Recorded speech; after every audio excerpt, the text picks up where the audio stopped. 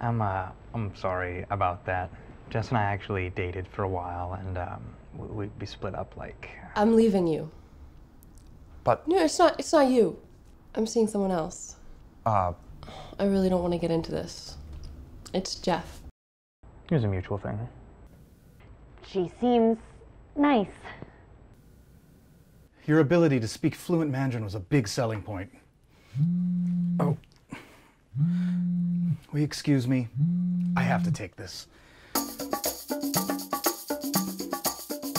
I know that this is probably like the total wrong time to ask this, but I love your videos. I was one. Wait, what? I love your music videos. I've seen all of them. They're they're great. Wow. Um. Thank you.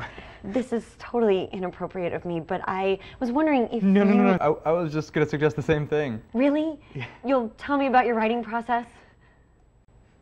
Yes. Yeah. Yes. Yes. I, I would love to tell you about my writing process.